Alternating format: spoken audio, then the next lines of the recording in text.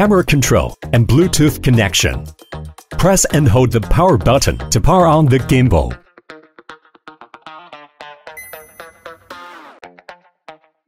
Camera cable control.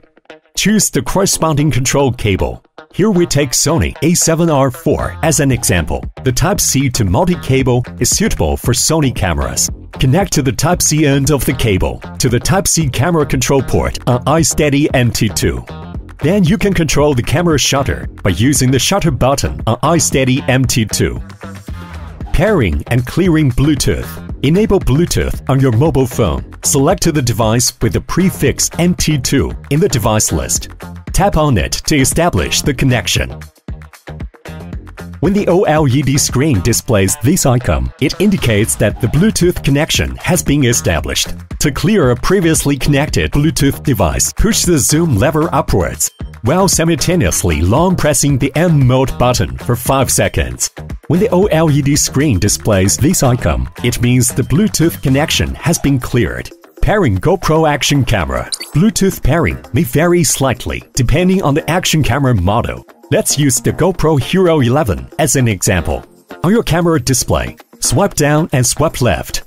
Tap Preferences. Tap on Wireless Connections. Select Wireless Connections.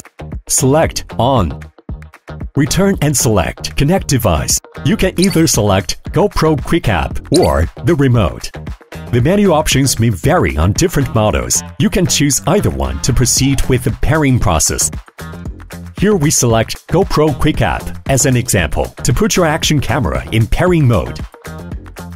Long press the M button on iSteady MT2 to enter the OLED submenu. Press the A button once to navigate to the camera Bluetooth pairing interface. Press once the M button. When the connection icon on the left side starts blinking, it indicates that the pairing process is in progress.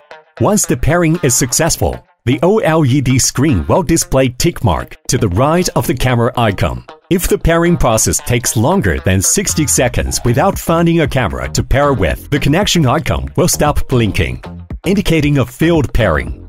To clear a paired camera, enter iSteady MT2 camera Bluetooth pairing interface. Use the joystick to navigate and select Unpair to remove the pairing. Then press the M button once to confirm the action. When tick marks appears, it indicates that the clearing process was successful.